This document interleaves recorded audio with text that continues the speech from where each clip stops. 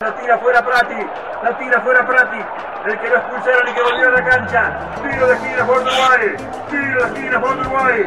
Será presagio de gol. Prati, el que tendría que haber sido expulsado y no fue. Y está en la cancha, la banda al corner. Tiro de esquina por el equipo uruguayo. Minuto 39, casi 40. Uruguay,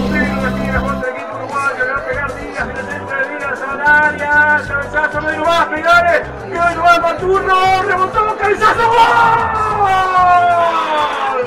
¡Gol! ¡Gol!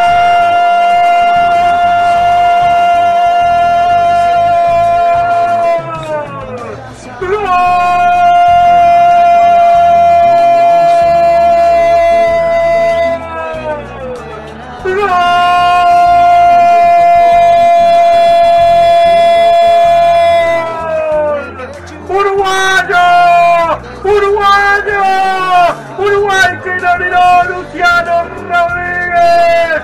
¡De cabeza la manda al fondo del! ¡Uruguay 1! ¡Italia 0! ¡Uruguay que nominó! ¡Uruguay a punto de ser campeón del mundo! ¡Primer juego!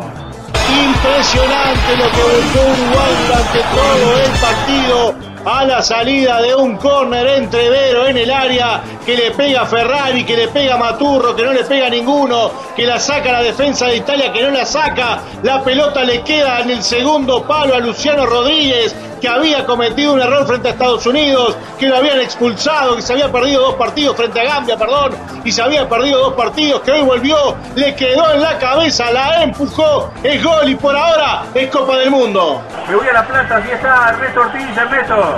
Al final llegó, al final llegó el gol que tanto queríamos, que tanto esperábamos. Y lo hizo Luciano Rodríguez, que tuvo dos partidos afuera, que cometió un error y que lo pagó caro.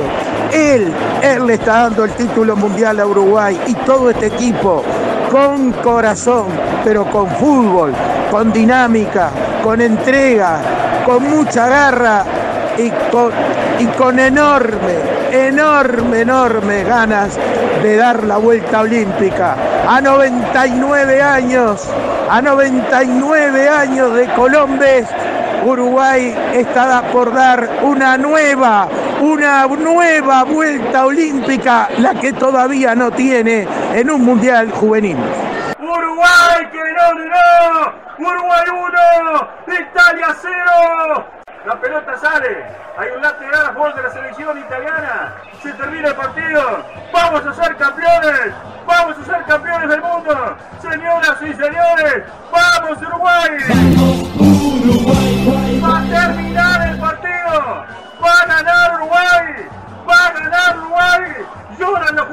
uruguayos. Va a ganar Uruguay. Va a terminar el partido. Va a sacar desplanches. Saca desplanches el pelotazo. Terminaron sueco. La pelota viene hacia el medio. Terminaron sueco. La pelota va hacia adelante. Te tenés que volver a Suecia, papá. Ataca Italia. La pelota viene en medio. Le queda Díaz. Ahí va González. Pisó la pelota y cayó muerto en el piso. Increíble. La tiene Italia. Va a terminar. ¡Terminó! ¡Uruguay nomás! ¡Uruguay que no dio! ¡Uruguay nomás! ¡Uruguay que no dio! ¡No, no digo gente! ¡Uruguay campeón del mundo! ¡Uruguay que no dio! ¡Uruguay 1! ¡Italia 0! ¡Italia 0! ¡Uruguay que no dio! ¡Uruguay 1! ¡Italia 0! ¡Leonardo Escuero! ¡Ganó Uruguay! ¡Somos los mejores del mundo en la sub-20! ¡Uruguay que no dio! ¡Uruguay para todo el mundo! ¡Uruguay no va, Leo! Les decía que como he hecho recién en este partido, donde Uruguay en principio fue, fue más que Italia, donde Uruguay propuso el partido, donde Uruguay corrió, donde Uruguay marcó, donde Uruguay jugó, donde Uruguay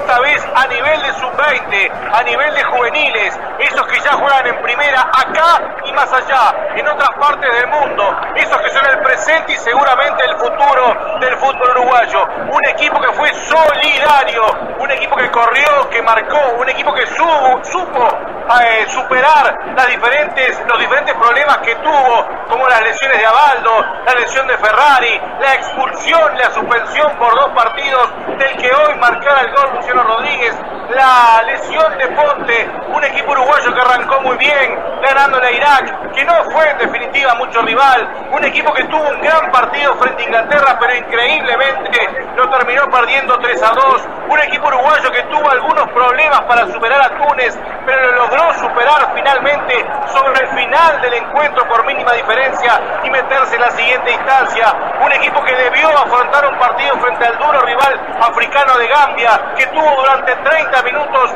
un jugador de más, que no pudo, que no supo encontrar el camino para el gol, un partido que marcó la expulsión de Luciano Rodríguez, pero Uruguay finalmente, con mucha entrega, logró dejar por el camino a Gambia y así después llegaba el encumbrado y favorito, por qué no decirlo, Estados Unidos. Y Uruguay sufrió de ratos el partido en los primeros 15 o 20 minutos, pero después con mucha con mucho juego solidario, se quedó con el control del juego y también barrió y también sacó a Estados Unidos del Mundial y siguió adelante con la valla invicta, porque solo Inglaterra nos había hecho goles. Y así llegó Israel, el vicecampeón de Europa, un equipo que también llegaba sólido, que también llegaba fuerte. Y Uruguay, que por ahí tuvo buenos y malos momentos dentro del partido frente a Israel, volvió otra vez con un equipo solidario, con un equipo que se entregó en todo eh, por el partido y por el resultado, logró mantener el cero en su arco, logró marcar un gol y logró sacar de la Copa del Mundo a Israel, lo mandó a jugar por el tercer puesto y Uruguay logró una vez más meterse en la final de la Copa del Mundo como lo había hecho en Malasia y como lo había hecho después en tierras turcas. Lo cierto que Uruguay hoy afrontaba una final y muy temprano hoy les decíamos que las finales no se juegan, se ganan ante un duro rival como Italia, porque Italia y Uruguay tienen historia en esto del fútbol, no importa si son juveniles, tienen historia en esto del fútbol, la rica historia del fútbol mundial tiene el nombre Y tiene el nombre de Italia entre tantos otros.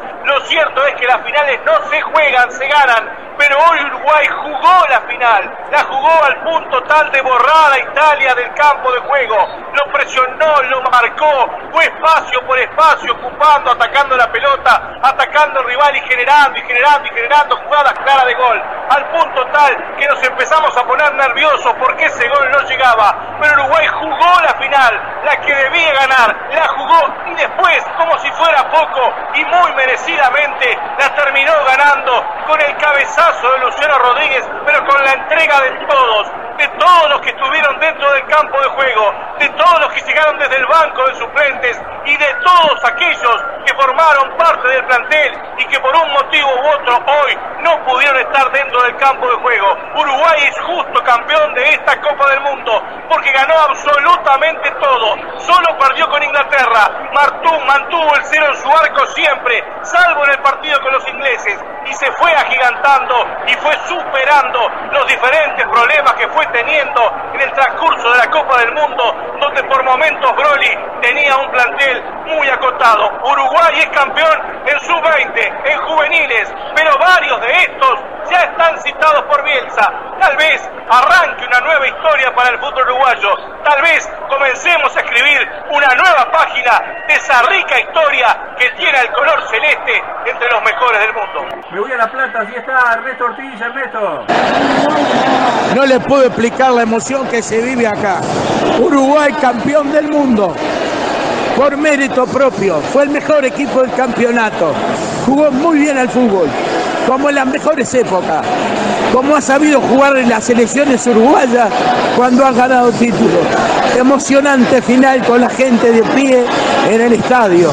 Increíble, increíble, inolvidable lo que acabamos de vivir. Estos pibes se merecen todo. Pusieron garra, corazón, pero pusieron fútbol y tenían que haber ganado por, por más todavía. Uruguay es campeón del mundo. Campeón del mundo sub-20, sí señor, pero campeón del mundo. Allí hay algunos uruguayos que quieren entrar a la cancha y tienen problemas con, con la seguridad privada. Una pena que no pase nada. Pero ha sido realmente emocionante lo de Uruguay.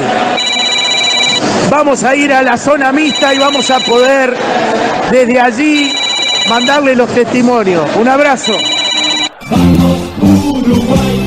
Genial, Ernesto Ortiz desde La Plata en el Estadio Único.